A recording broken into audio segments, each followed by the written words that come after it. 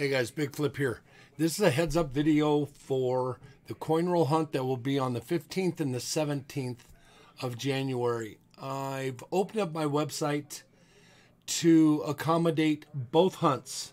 So if you don't get in on the first two boxes for Friday night, we will be hunting your rolls on Sunday night. I think that's the best way to do it.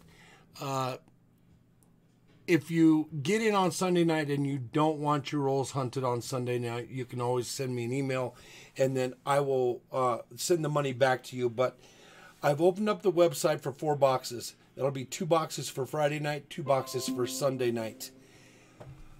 I I think that's the best way. So um, obviously I'm going to reload all 52 cards for the silver pulls, and then I have plenty of grab bags for the grab bag pulls. So I'm just giving you a heads up that that's what we're going to do.